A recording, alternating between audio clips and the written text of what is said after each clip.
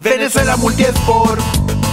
Emoción deportiva en movimiento, experiencia al 100%. Venezuela Multisport, marca la Bienvenidos a todos los amigos de Venezuela Multiesport a esta entrevista especial con José Machado, miembro de la Fundación Deportiva Venezuela País de Futuro, en su gira a nivel nacional, eh, que viene pues haciendo un trabajo bastante arduo, asesorando, llevando pues la, a, todas las asociaciones, a todos los gremios deportivos del ciclismo, a los entrenadores, a los ciclistas, eh, a los jueces y árbitros, todo lo que es la información concerniente a esta nueva ley del deporte, ¿verdad? A la providencia número 2, que le abre un compás y unas alternativas bien interesantes al ciclismo venezolano. José Machado, una persona con una amplia experiencia dentro del ciclismo, empezó a los nueve años eh, en el velódromo Teo Capriles de Caracas, con la campana, dando sus primeros pasos como árbitro y se fue formando poco a poco dentro de una disciplina muy, muy, muy pulcra, ¿no? muy impecable a través de la tutoría pues, de su señora madre, la comisaria internacional Carmen Jaime de Machado. Y mm, bueno, a través de los años se fue formando de una manera integral como, como, comisario. Posteriormente, después de los 12 años, este, comenzó a montar bicicleta en el ciclismo menor de pista y ruta. Fue escalando en estas categorías hasta llegar a la categoría élite. Corrió cinco vueltas a Venezuela. Participó en los Juegos Nacionales de Cojedes. Luchó la etapa de ruta con Honorio Machado, con Jesús Pérez, ciclistas importantísimos que hoy día son protagonistas todavía pues, del ciclismo nacional. Posteriormente el ciclismo lo lleva a Italia como competidor, como atleta activo y estando allí eh, ve en, en carne propia toda la realidad y, lo exigente del ciclismo este, profesional, ¿no? La, cómo actúa la medicina dentro del deporte y por esos principios que fueron sembrados desde aquellos nueve años, pues sencillamente prefirió no, no dejarse seducir ante la ambición de tener que, que- que hacer fraude dentro del ciclismo y prefirió regresar a Venezuela a hacer una vida como dirigente. Es así como llega al Estado Monagas, eh, hace un trabajo bien importante como, como entrenador, posteriormente se convierte en presidente de la Asociación del Estado Monagas. Y este, años más tarde decide descansar, darse dos años de descanso. Y luego estos dos años regresa al ciclismo, siendo incluso dentro de este periodo, desde el 2012 hasta el 2010, hasta este periodo 2013-2017, entra dentro de lo que es la, la plantilla de la Federación Venezolana de Ciclismo dentro del Consejo Contralor. Desde allí, eh, en el transitar de todo este ciclo olímpico, ejerce varias funciones, siendo una de ellas parte de la dirección técnica del equipo de élite de ciclismo venezolano, hasta pues los Juegos Panamericanos de Toronto, ¿no? Donde eh, luego de, evidentemente, del accidente que sufriese en un entrenamiento el ciclista Richard Ochoa en Venezuela, pues mm, el ciclismo venezolano pues evidentemente quedó consternado por aquella mala noticia y decidió pues junto con un equipo grande del ciclismo que hoy está representado en la Fundación Deportiva Venezuela País de Futuro, este, calmar un poco las aguas entre atletas y federación y empezaron a, a dar pasos firmes hacia, hacia, hacia un proyecto. Y es así como la Fundación Deportiva Venezuela País de Futuro comienza a construir una propuesta y una nueva esperanza para el ciclismo venezolano. Bienvenido José, gracias por visitarnos pues acá en Venezuela Multisport y han sido meses de arduo trabajo, lejos de la casa, este, muchas horas de sueño invertidas para poder llevarle un mensaje de esperanza, un mensaje de optimismo y llevarle algo muy importante, este, el conocimiento de, los, de, las, de las ventajas que ofrece la ley. Bueno, de verdad, muchas gracias a Rolando y a ti, a su empresa que de verdad vino a darle un vuelco al ciclismo nacional. Y no es casualidad, pues, de este último ciclo olímpico donde ustedes empezaron a incursionar, eh, prácticamente nos coincidimos con conjuntamente con la Fundación Venezuela País de Futuro.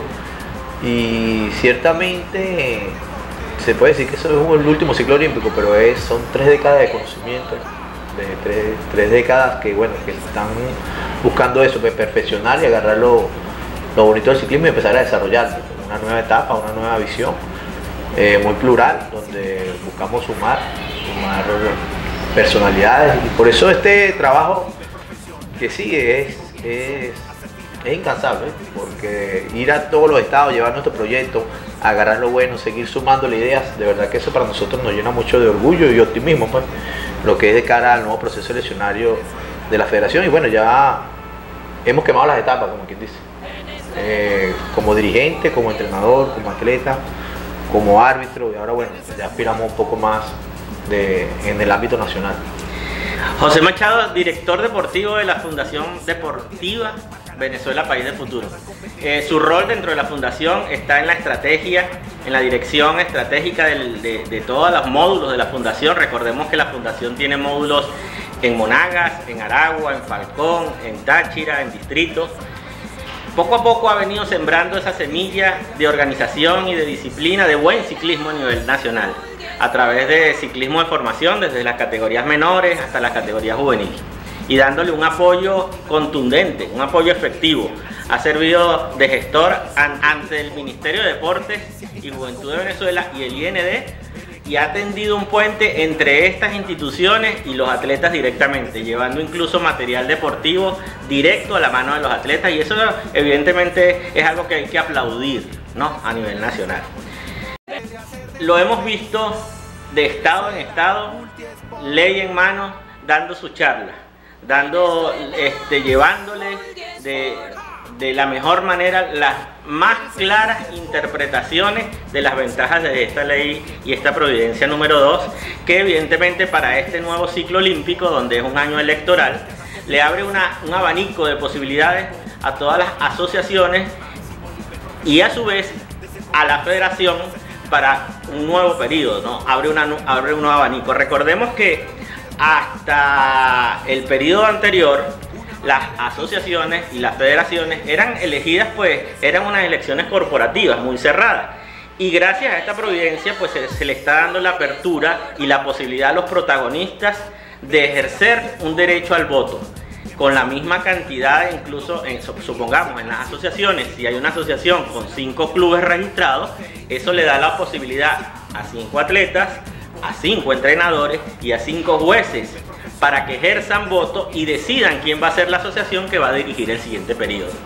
Esto ha sido una ventaja bien importante y de verdad yo tengo que felicitarlos porque ese esfuerzo de ir estado por estado a explicar este detalle ha sido muy importante. ¿Cómo, cómo, cómo ha sido la receptividad de este elemento dentro de cada uno de los estados que han visitado?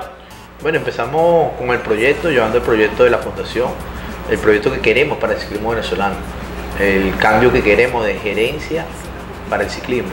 Y a su vez hemos ido de la mano con lo que es la ley orgánica del deporte, el reglamento parcial número uno y la providencia 002, que tú muy bien lo decías, lo que abre más el compás y clarifica bien lo que es el reglamento y la manera de ver los estatutos. Este, lo importante, lo que a todos le decimos, este, hemos hablado con dirigentes que tienen mucha trayectoria, que van a tener continuidad, tenemos que decirle nuestro proyecto a todos. Y basado en la ley, lo que queremos es que haya la participación justa y equilibrada en todos los procesos. Gane el que gane, apoya el que apoye, que sea un proceso limpio, transparente, participativo y bueno, que gane el, mejor. Y lo que buscamos romper, y de hecho ya lo, ya lo hemos, estamos seguros que lo hemos logrado, es romper con una hegemonía. Una hegemonía que de verdad no existe, que no existe en el deporte venezolano en ningún nivel, y mucho menos en el ciclismo.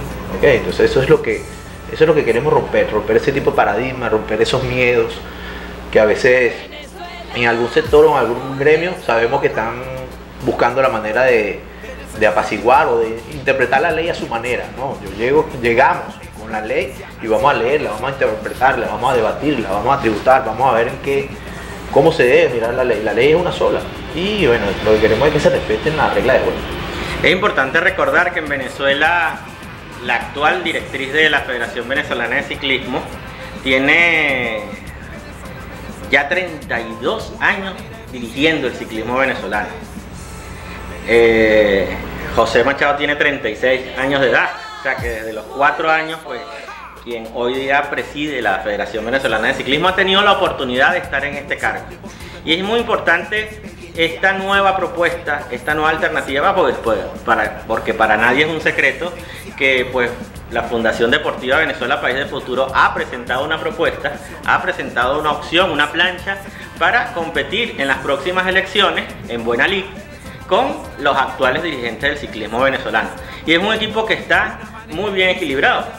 Sabemos que está dirigido, abanderado por Rubén Osorio, quien hoy día es un empresario exitoso del estado Táchira, pero que en sus antecedentes deportivos también está que fue ciclista, fue campeón panamericano de ciclismo en, las especialidades de pista, también pues lo acompaña dentro de este equipo a Ángel Hurtado, quien es el actual presidente de la Asociación de Ciclismo del Estado Aragua. Y bueno, aun cuando no conocemos exactamente los nombres de la plancha, ¿sí?